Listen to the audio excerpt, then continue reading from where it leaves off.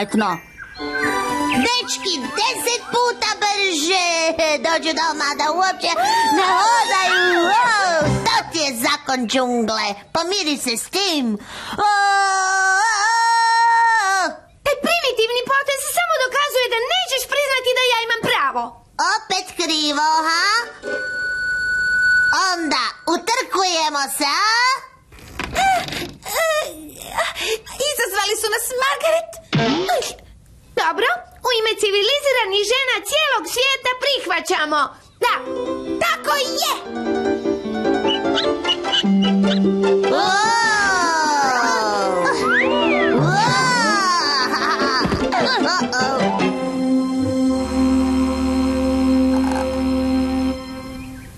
Strašno pozorniće, osvuda divljaštvo. Treba. Što si zaslužio, to si i dobio.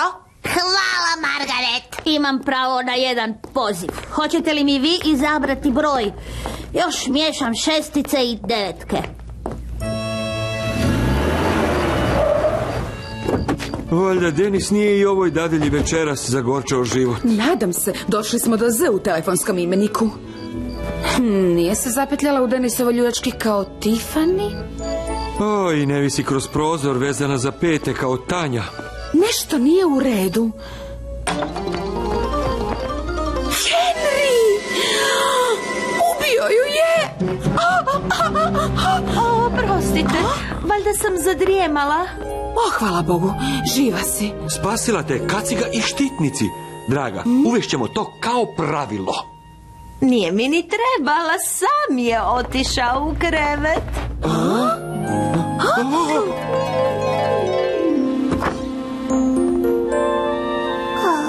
zdravo, mama, tata. Valjda nije bolestan.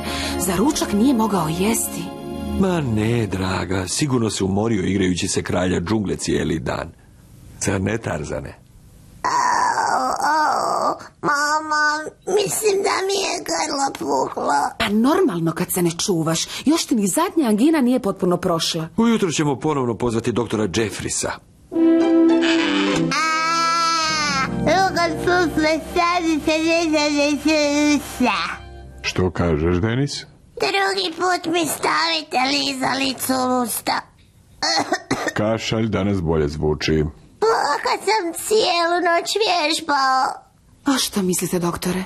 Kad netko ima tako učestale upale grla, krajnici svakako moraju van. U bolnici ćemo mu obaviti sve pretrage. Moram u bolnicu. Da, na tozilektomiju. Ajme, kakva riječ. Ko zna što će mi sve napraviti, a mene samo malo boli grlo. Ma, sine, nije to ništa strašno. No da, samo ću ti izvaditi krajnike. A možda ih ipak uspijem odgovoriti.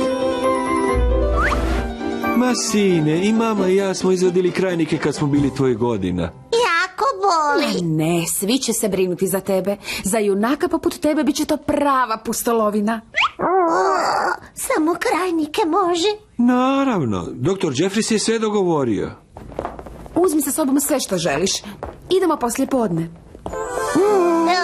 Raf, kupam se, pijem vitamine, odmaram se, ipak sam bolestan, a tebi ništa nije, a ne pereš se i jedeš voda.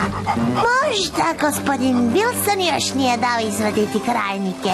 Bilo bi me manje strah bolnice da je on sa mnom. Dan, gospođo Wilson, mogu li razgovarati s gospodinom Wilsonom? U vrtu je zlato. Ovaj si put moj i Boži.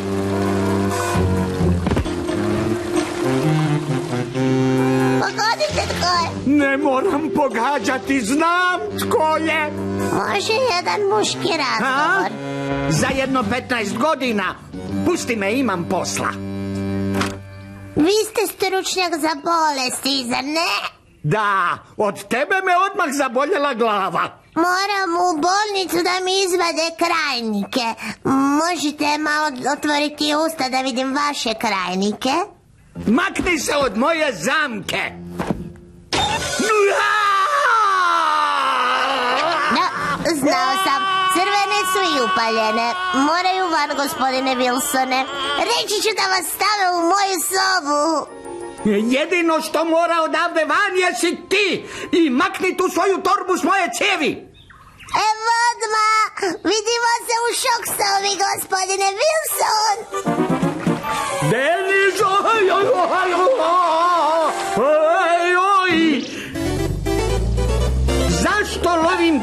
krticu kad prava štetočina živi preko puta? Stidi se, George. E, bio si mu potreban, a ti nisi imao vremena za njega. E, napravit ću mu fini domaći sladoled, a ti ćeš mu ga osobno odnijeti u bolnicu, samo da znaš. Marta, ne budali. O, hoćeš, hoćeš. Denis mora čuti od prijatelja da se u bolnici brinu za pacijente i da dobro znaju što treba činiti. Mir, mir, molim vas. Svaki dan... Mali Mitchell dolazi na operaciju krajnika. Svi imamo loša iskustva s njim. Još od samog rođenja. Doktor Chamberlain ga je porodio. Dvije godine poslije došao je da mu izvedimo trn.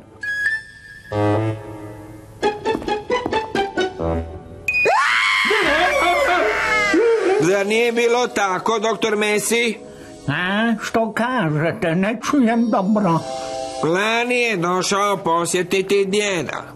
Dakle, znajući kakav je Denis, našao sam sestru koja će sigurno znati kako treba s njim. Sestra Širni Mrga. Najbolja koju imamo. S njom imamo nekakvu šansu da bolnica nakon ovoga ostane cijela. Denis Mitchell neće uništiti našu prekrasnu bolnicu. Pardon, A, ako me tko treba, ja sam na golfu. Što te zapravo muči, Denise? Ma ništa, samo moram biti ovdje dan dva. Dobit ću jedan super ožiljak. Kako će se dijete zvati? Kako dijete? Kad moja teta Julija ode u bolnicu, uvijek se vrati s djetetom. Ja, joj, kako si glup! Kad se Denis i ja vjenčamo, ja ću roditi dijete. Denis će biti direktor jedne velike tvrtke i imat ćemo divan dvorac na periferiji. Zaberi se nam je godina. A hoće li oko tog vašeg dvorca biti jarak? Da, Joy. I ti ćeš hraniti zmajeve. Super! O Bože, Denise, jednom mom prijatelju e, su prilikom operacije naopačke zašili stopala i sada uvijek odlazi umjesto da dolazi. Laživice! Ne vjeruješ da ima operaciju? Ne vjerujem da imaš prijatelja. Želim ti sreću. Treba će ti. Ako ti ponudi dijete, uzmi dva. Nazvat ću te ujutro. Dok si ti tu, ja ću izabrati zastavice za dvorac. Je li sve u redu, sine? A kako bi moglo biti u redu? Pogledaj malo, sjedim na nekakvoj metalnoj guski, telkač je previsoko, a piđamu nisu dobro zakrpali. Hoću doma, hoću u svoj krevet. Hoćeš da ti čitam dok ne zaspiš? Ne, neću spavati, tako sam sigurniji. O, ne boj se, mili. Ovdje će se svi brinuti za tebe. Moramo još ispuniti neke formulare, sine. Doći ćemo još k tebi prije nego odemo kući.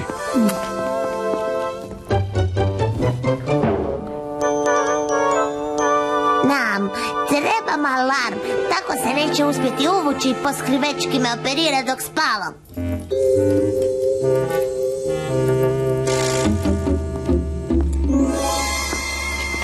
Kakva sreća spava, bar neću morati cijelu noć razgovarati s njim. Gospodin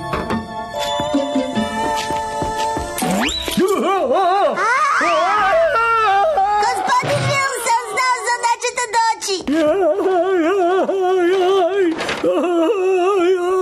Donesite ga ovamo, ja ću se brinut za njega. Ne, molim vas, samo to ne!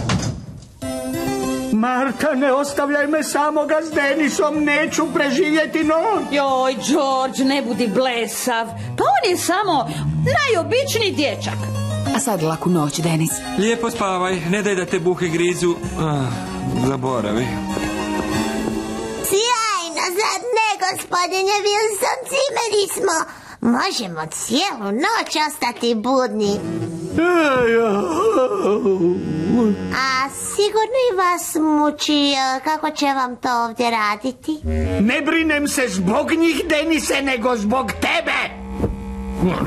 Hvala, ali ja sam dobro sad kad ste vi tu. Bolnice nisu loše, ali pijame su grozne. Idi u krevet, Denise, ne želim sada razgovarati. Da, i meni je bilo isto. Nikad nikome nisam htio reći da se bojim. Ja se ne bojim. Biće vam lakše čim vam objasnim što ovdje rade. Prvo izmenimo tlak. Denise, makni mi to s ruke. Onda vas udare po koljenu. Ne! Joj! Denise, sad mi je krevet mokar. Joj, trebali ste im reći. Zato imate gusku. Onda vam izmeri temperaturu. Ne, ne, ne, ne, nemam temperaturu. Da, da, ali tlak vam je stvarno skočio. Dosta gluposti. Dobro mi je. Dobra ideja. Gledat ćemo telku. Uzet ću svoj jastok da ne zaslenim vaš kad zaspim.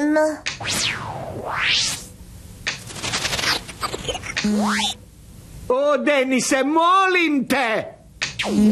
Predstavljamo vam nevjerojatan izum kojim ćete se zauvijek riješiti svih štetočina u vašem predivnom vrtu. Ej, to je to. Upravo mi to treba da se riješimo ne krtice u mom vrtu. Nemoj promijeniti program G9146. Moram to odmah naručiti. Kad bih se mogao izvući iz ovoga? Znači, mijenjam program, može.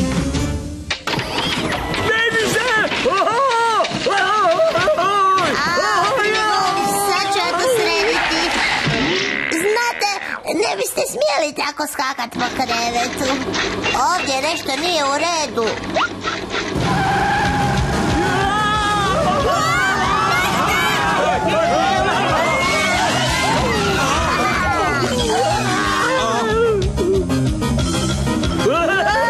Što će mi se još dogoditi? Dođi, veseli dječaše, vrijeme je za kupanac. A draga mu je još malo mokro, sestro. O, hvala ti, Zlato. Ne znam zašto svi misle da si ti problematičan. Ali vas, gospodine Wilson, neću ispuštati iz vida ni jedan jedini trenutak. Pojedite to sad odmah. Ej, a zašto ja ne mogu dobiti odrezak s prilogom kao onaj ondje? Zato što tu piše da imate visoki tlak. Hoću drugo mišljenje! No dobro, predebeli ste. Pobrinuću se da dođete na pravu športsku kilažu, Wilsone. Pojedite sve stanjura, a onda idete u garažu i operite moj auto. Što? Mala šala, nemam auto, nego motor. Razvedrite se, Wilson, smijeh je najbolji. Evo, Moram se izvući odavde, gdje mi je odjeća? Gospodine Wilson, ujutro će mi izvaditi pola grla, pa ne bih volio biti sam. Evo, možete naručiti odrezak i sve što želite. Krtica mi uništava vrt. Polako. Ona sestra zmaj me želi uništiti. Ovo je najgori dan u mom životu. Kad bi ga, ga samo uspio nekako razvedrit, možda bi ostao. Da vidim, Raf nije tu, nema ni klaunova. Hej, baloni! Uz balone baš nitko ne može biti potišten, nitko. Možda sestra Mrga ima kakvu muzicu. Juj. Što je to? Hej, što se to događa? Moram se izvući odavde. Gdje mi je onaj broj telefona? E, K vragu! Idemo, idemo u krevet, djedice. Pustite me! Ej, što, gospodin Smedli još nije obrađen za operaciju mozga. Smed, e, što? To je onaj što jede odreske! Nemojte mi obrijati tih nekoliko dlaka!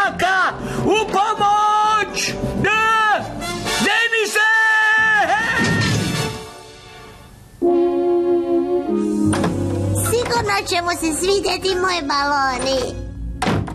Joj, jadna moja glavica, sad izgleda kao kugletina za bočanje. Moramo ga hitno pronaći. Pa to je broj telefona za antikrtice. O. O, o, o, o, o, o. Moj si, haha, ulovio sam ga. Gospodine Wilsone! Broj telefona je pao na podboj prozora. Joj, majko mila! O ne, Denise! O, pa nije pao. O ne, ne, na uglu je. Denise, Denise, to je opasno. Denise! Gospodine Wilsone, još ga nema. Valjda nije stvarno otišao doma. A što? Wilson je opet u šetnji i ostavio je otvoren prozor da se ti prehladiš. Pa pokvarenjak stari. Ja mislim da se gospodin Wilson malo uplašio što ne spava u svom krevetu. Javljamo se uživo ispred bolnice gdje očito poremećena sestra želi skočiti s petog kata. Denise, otvori prozor! Henry, to je George! Pa zar je poludio? Oj, Ostao je samo jedan uništavač štetočina. O, javlja se dječak Denis i želi ga naručiti. O, alo? Morate ga poslat mom prijatelju gospodinu Wilsonu, treba ga malo razvedriti u bolnici. O, jeste li čuli ovo? Joj, nije baš u bolnici, moram ići. Denis,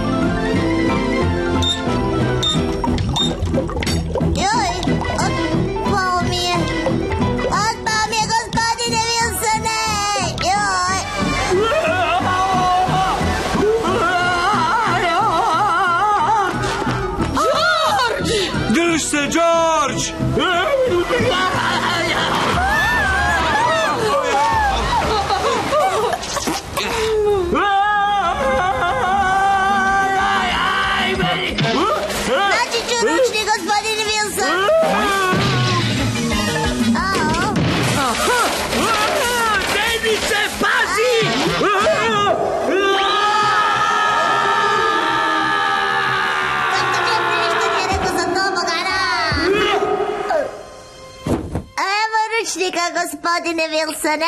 Pusti me na miru, Denise, pusti me! Wilson, vi ćete sa mnom. Odvedite me, molim vas, dajte mi injekcije, ljekove, bilo što, što god hoćete, samo me odvedite! No, no, a da ne pretjerate, a? Ne, ne bi, stavite me u izolaciju, da, to bi bilo sjajno, izolacija, što dalje od... a, O, baš ste hrabri. Daćete im da vam sve to rade. Stavite me u izolaciju, molim vas, bit ću sam, imat ću mira, molim vas, molim vas, molim vas, molim, molim. A najbolje je to što nećete biti usamljeni. Biti će uz vas cijelo vrijeme. Ako gospodin Wilson sve to može podnijeti, mogu i ja. A, spreman sam za Tozi, kako se nazove sestro.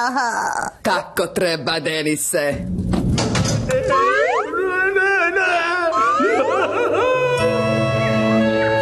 Vađenje krajnika i nije bilo tako strašno, za ne, Denis?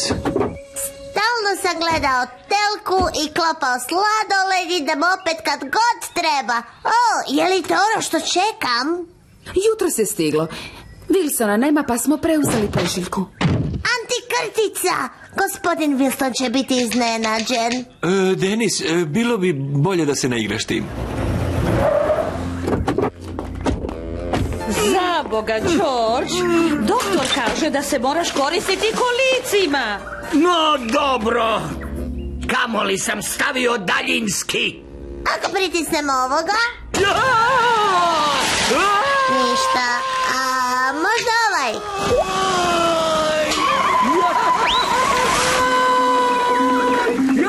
Moram skužit kako ovo radi. Gospodin Wilson mora istjerat onu krticu. Zlato, mislim da jest.